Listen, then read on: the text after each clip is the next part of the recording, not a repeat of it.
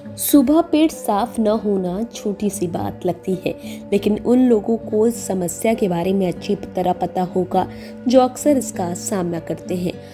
आपको भी अगर सुबह पेट ना साफ़ होने की समस्या है तो सुबह की शुरुआत लौंग चबाने से कर दे, जिससे आपकी समस्या काफ़ी हद तक ठीक हो जाएगी।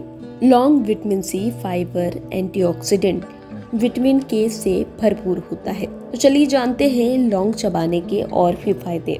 सुबह लौंग का सेवन करने से आपको पाचन संबंधी किसी भी समस्या का इलाज करने में मदद मिलेगी।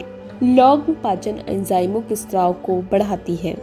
लौंग में यूजेनॉल होता है, जिसमें एंटी इंफ्लामेटरी गुण होते हैं। ये मसाले सर दर्द के लिए बहुत ही अद्भुत उपाय माने जाते हैं। आप इनका सेवन कर सकते हैं।